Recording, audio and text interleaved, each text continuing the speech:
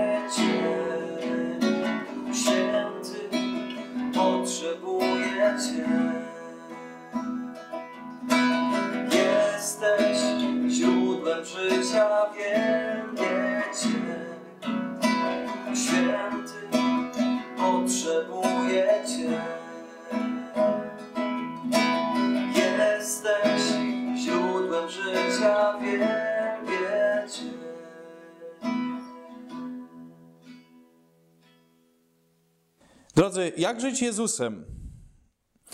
Jak żyć dzisiaj? Niech przewodnikiem będzie słowo, które zapisane jest w Ewangelii według świętego Jana w piątym rozdziale. Posłuchajmy tego słowa. Było święto żydowskie i Jezus udał się do Jerozolimy. W Jerozolimie zaś przy Owczej Bramie jest sadzawka, nazwana po hebrajsku Betesda, mająca pięć krużganków. Leżało w nich mnóstwo chorych, niewidomych, chromych, sparaliżowanych. Znajdował się tam pewien człowiek, który od lat 38 cierpiał na swoją chorobę. Gdy Jezus ujrzał go leżącego i poznał, że czeka już dłuższy czas, rzekł do niego: Czy chcesz wyzdrowieć? Odpowiedział mu chory: Panie, nie mam człowieka, aby mnie wprowadził do sadzawki, gdy nastąpi poruszenie wody. W czasie, kiedy ja dochodzę, inny wstępuje przede mną. Rzekł do niego Jezus: Wstań, weź swoje nosze i chodź. Natychmiast wyzdrowiał ów człowiek, wziął swoje nosze i chodził. Jednakże dnia tego był szabat. Rzekli więc Żydzi do uzdrowionego: Dziś jest szabat, nie wolno ci dźwigać twoich noszy. On im odpowiedział: Ten, który mnie uzdrowił, rzekł do mnie: Weź swoje nosze i chodź. Pytali go więc, cóż to za człowiek ci powiedział: Weź i chodź.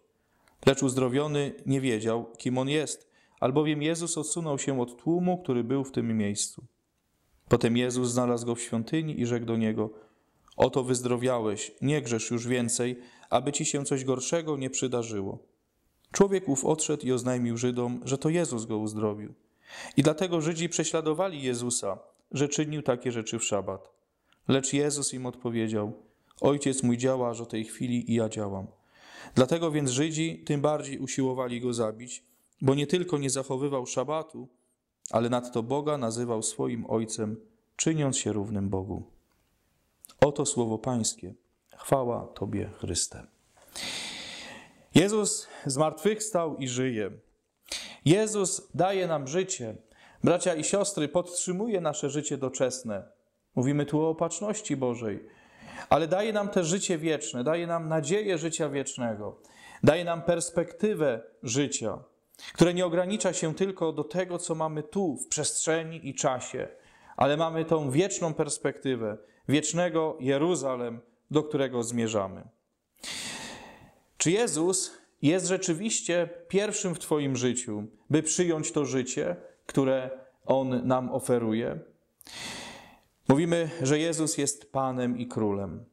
Ale czy jest Panem i Królem Twojego myślenia, Twojego odczuwania, Twoich emocji? Czy jest Panem i Królem Twojej rodziny, małżeństwa, sposobu pracy? Przyjąć Jezusa jako Króla i Pana to nasza odpowiedź na miłość Boga Ojca i na dar zbawienia, który daje nam Jezus. Tak, w tych dniach szczególnych tego niezwyczajnego Wielkiego Postu Bóg wzywa nas do tego, abyśmy jeszcze raz usłyszeli Ewangelię i jeszcze głębiej przyjęli Jezusa jako pierwszego w naszym życiu. Jezus niczego nam nie zabiera, a wszystko chce dać. Często ludzie boją się, że kiedy powiedzą: Tak, panie, chcę Tobie służyć, tak, Panie, pójdę za Tobą, to stracą pieniądze, ludzi, yy, jakieś relacje szczególne, przyjemności. Nie stracisz. Chyba, że to, na czym budujesz swoje życie, jest związane z grzechem. To Jezus nie zgadza się na grzech. On y, nie zabierze ci niczego, nie zgodzi się tylko na grzech. Więc jeżeli chcesz, aby Jezus był pierwszy w Twoim życiu, odrzuć grzech. To jest pierwszy etap. A drugie, przyjmij Ewangelię jako normę życia, jako słowo, które będzie Cię prowadziło. Bracia i siostry, Jezus nazwał nas przyjaciółmi swoimi. To niesamowite. My nie jesteśmy sługami. Nazwałem Was przyjaciółmi, bo znacie wolę moją, mówi Jezus.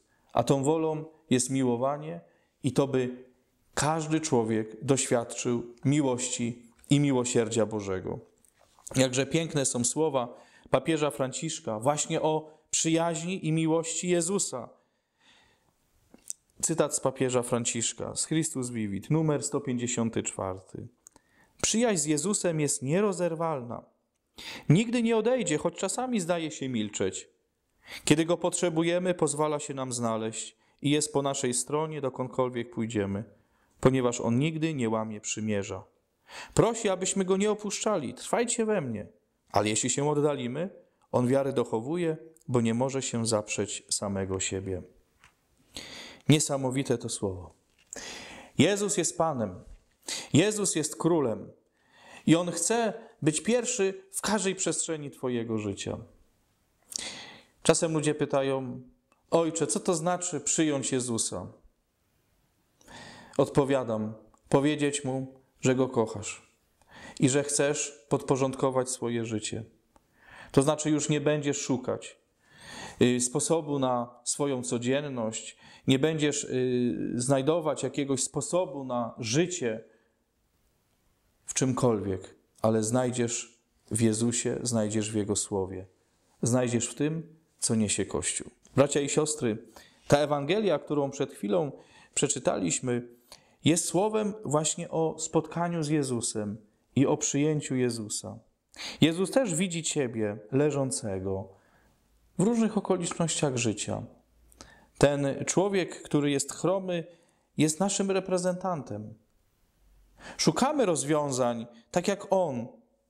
Nie da rady podejść do wody, która niesie uzdrowienie, i na pytanie, czy chcesz wyzdrowieć, mówi: Nie mam człowieka, nie mam sposobu tego ludzkiego, żeby dotrzeć do tej wody. Jezus pyta, czy ty chcesz wyzdrowieć? To Jezus mówi: Wstań, weź swoje nosze i chodź. Zauważmy, że ten człowiek nie poprosił, Panie, uzdrów mnie. To Jezus wychodzi z inicjatywą. Jezus dzisiaj, Jezus w tych dniach wychodzi z inicjatywą i mówi: Wstań, weź swoje nosze, czyli weź swoją codzienność, weź swoje ograniczenia, weź swoje lęki i chodź. Znaczy, patrz do przodu, ale patrz z Jezusem zmartwychwstałym. Ten człowiek natychmiast wyzdrowiał. Bracia i siostry, kiedy otwieramy się na Jezusa, to przede wszystkim nasz duch zdrowieje. To stajemy się ludźmi coraz bardziej nadziei, ludźmi, którzy niosą wolność, ludźmi, którzy się nie boją, ludźmi, którzy stawiają czoło różnym trudnościom niesionym przez życie, przez rzeczywistość, bo mają Jezusa, mają siłę, która płynie z Jezusa. To co mamy robić w życiu? Teraz tak w konkretach. Pierwsze, pragnąć Boga i pragnąć życia. Wszystkie nasze oczekiwania, wszystkie nasze mm, te doczesne pragnienia, wszystko to, co jest ważne dla nas, żeby było brane w świetle tego najgłębszego pragnienia. Chcę być człowiekiem Boga. Chcę być przyjacielem Boga. Chcę być przyjacielem Jezusa. Drugie, żeby to się mogło stać, potrzebujemy takiego dialogu z Jezusem. Zobaczmy, w tej Ewangelii y, czytanej na początku jest y, dialog, taki bardzo szczery. Ten człowiek nie, nie, nie kombinuje, co ma odpowiedzieć Jezusowi. On mówi: No, nie mam człowieka, który by mnie doprowadził. To jest spontaniczna odpowiedź. Jezus chce, abyśmy i my w taki sposób się modlili. I znowu słowa papieża Franciszka. Z przyjacielem rozmawiamy, dzielimy się najtajniejszymi sprawami. Także z Jezusem rozmawiamy. Modlitwa to wyzwanie i przygoda. I to jaka przygoda? Pozwala nam poznać Go coraz to lepiej, wejść w Jego głębie i wzrastać w coraz silniejszej jedności.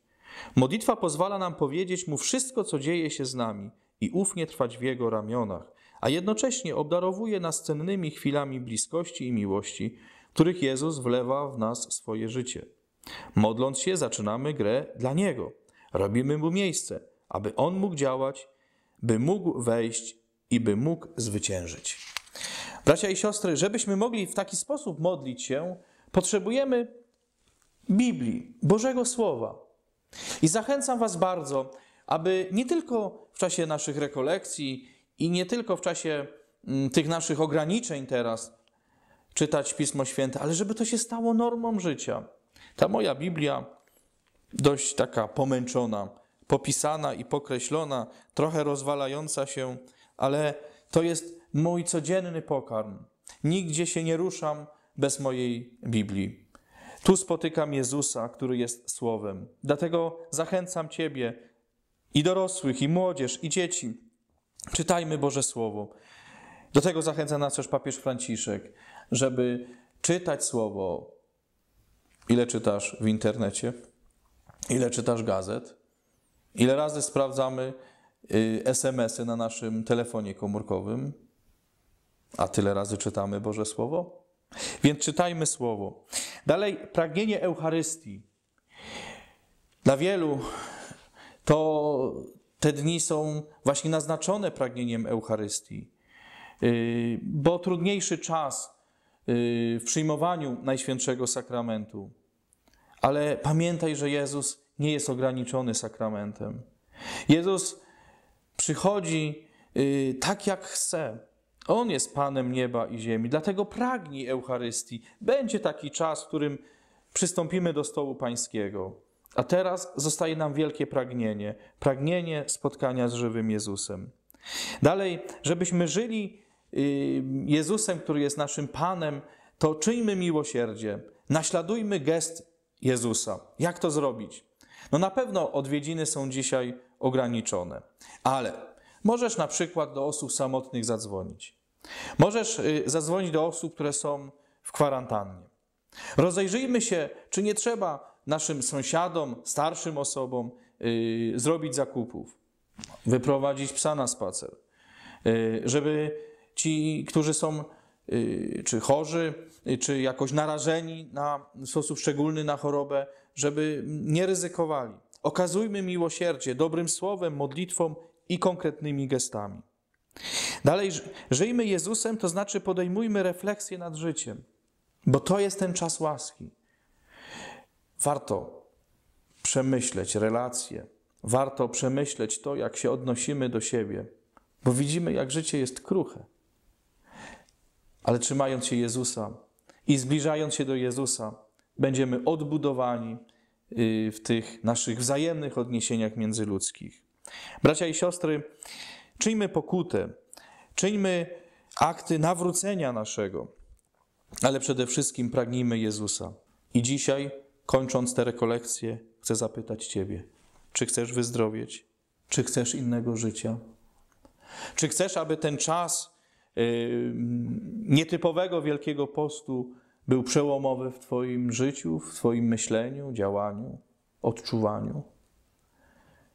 Zapraszam, byśmy adorowali Jezusa, byśmy za chwilę udali się do naszej kaplicy i przed Panem Jezusem w Najświętszym Sakramencie uznali swoją grzeszność, pokutowali za grzechy i zapragnęli relacji z Nim. Drodzy bracia i siostry, Jezus żyje. Jezus nas podnosi. Jezus ma w świat w swoich rękach. Ten świat się nie wymyka. Nie rozumiemy wszystkiego.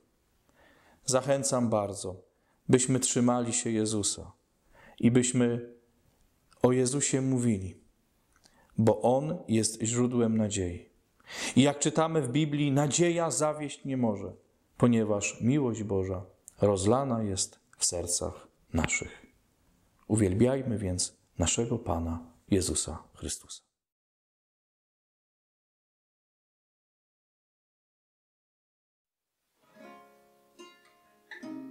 Schowaj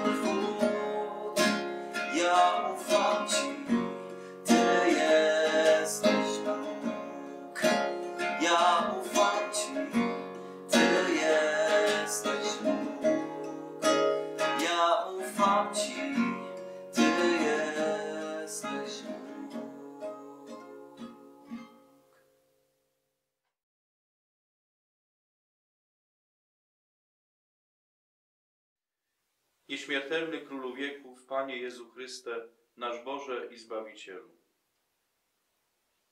Oto my Polacy stajemy przed Tobą, by uznać Twoje panowanie, poddać się Twemu prawu, zawierzyć i poświęcić Tobie naszą ojczyznę i cały naród. Wyznajemy wobec nieba i ziemi, że Twego królowania nam potrzeba. Wyznajemy, że Ty jeden masz do nas święte i nigdy nie wygasłe prawa. Dlatego z pokorą chyląc swe czoła przed Tobą, Królem Wszechświata, uznajemy Twe panowanie nad Polską i nad całym naszym narodem, żyjącym w ojczyźnie i w świecie.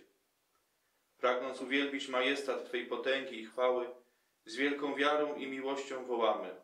Króluj nam Chryste, w naszych sercach, króluj nam Chryste, w naszych rodzinach, króluj nam Chryste, w naszych parafiach, króluj nam Chryste, w naszych szkołach i uczelniach, króluj nam Chryste, w środkach społecznej komunikacji, króluj nam Chryste, w naszych urzędach, miejscach pracy, służby i odpoczynku, króluj nam Chryste, w naszych miastach i wioskach, króluj nam Chryste, w całym narodzie i państwie polskim. króluj nam Chryste, Błogosławimy Cię i dziękujemy Ci, Panie Jezu Chryste, za niezgłębioną miłość Twego najświętszego serca, Chryste nasz Królu, dziękujemy.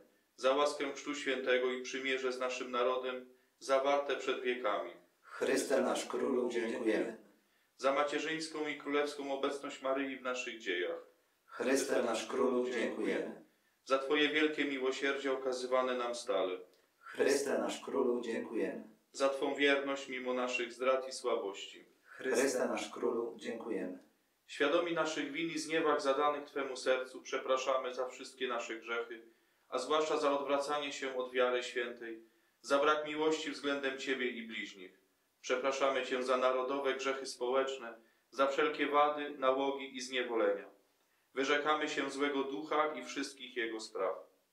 Pokornie poddajemy się Twemu panowaniu i Twemu prawu.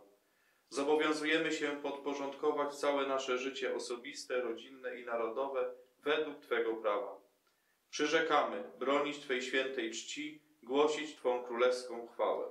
Chryste nasz Królu, przyrzekamy. Przyrzekamy pełnić Twoją wolę i strzec prawości naszych sumień. Chryste nasz Królu, przyrzekamy.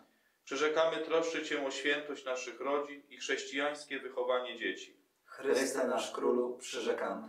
Przyrzekamy budować Twoje królestwo i bronić go w naszym narodzie. Chryste nasz Królu, przyrzekamy. Przyrzekamy czynnie angażować się w życie Kościoła i strzec jego praw. Chryste nasz Królu, przyrzekamy. Jedyny władco państw, narodów i całego stworzenia, królu wieków i panie panujących, zawierzamy Ci państwo polskie i rządzących Polską. Spraw, aby wszystkie podmioty władzy sprawowały rządy sprawiedliwie i stanowiły prawa zgodne z Twoimi prawami. Chryste Królu, z ufnością zawierzamy Twemu miłosierdziu wszystko, co Polskę stanowi, a zwłaszcza tych członków narodu, którzy nie podążają Twymi drogami. Obdarz ich swą łaską, oświeć mocą Ducha Świętego i wszystkich nas doprowadź do wiecznej jedności z Ojcem. W imię miłości bratniej zawierzamy Tobie wszystkie narody świata, a zwłaszcza te, które stały się sprawcami naszego polskiego krzyża. Spraw, by rozpoznały w Tobie swego prawowitego Pana i Króla i wykorzystały czas dany im przez Ojca na dobrowolne poddanie się Twojemu panowaniu. Panie Jezu Chryste, Królu naszych serc, racz uczynić serca nasze na wzór najświętszego serca Twego. Niech Twój święty Duch stąpi i odnowi oblicze ziemi tej ziemi. Niech wspiera nas w realizacji zobowiązań płynących z tego narodowego aktu, chroni od zła i dokonuje naszego uświęcenia. W niepokalanym sercu Maryi składamy nasze postanowienia i zobowiązania. Matczynej opiece Królowej Polski i wstawiennictwu świętych patronów naszej Ojczyzny wszyscy się powierzamy. Króluj nam Chryste, króluj w naszej Ojczyźnie, króluj w każdym narodzie, na większą chwałę Przenajświętszej Trójcy i dla zbawienia ludzi. Spraw, aby naszą Ojczyznę i świat cały objęło Twe Królestwo, Królestwo prawdy i życia, Królestwo świętości i łaski, Królestwo sprawiedliwości, miłości i pokoju. Amen.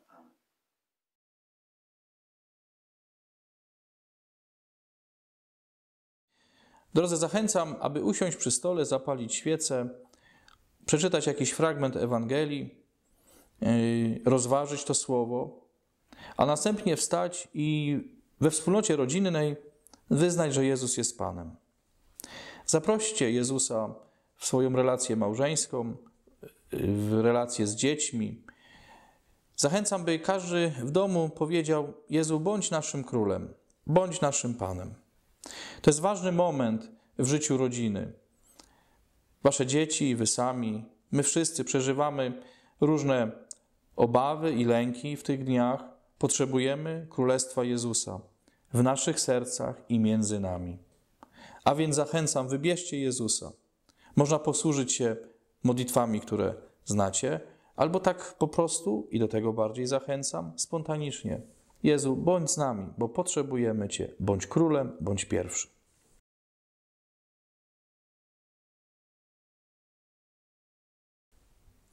Drogie dzieci, razem z rodzicami rozważaliśmy dzisiaj prawdę o tym życiu z Panem Jezusem oraz y, uklęknęliśmy przed Jezusem i powiedzieliśmy, żeby był naszym królem i Panem. Zapraszam wszystkie dzieci, zapraszam Ciebie, aby popatrzeć na krzyż czy na obraz Pana Jezusa, powiedzieć, że Go kochasz, ale powiedz też: Jezu, ufam Tobie. Powiedz: Jezu, bądź moim królem. Chcieliście żyć jako dzieci Boże. Chcieliście żyć jako święte dzieci z Jezusem. Bawić się normalnie, uczyć się, yy, dobrze spędzać czas wolny, ale z Jezusem, który jest naszym królem. Nie zapomnijcie mu codziennie powiedzieć, że go kochacie, że jest dla was ważny i że jest królem.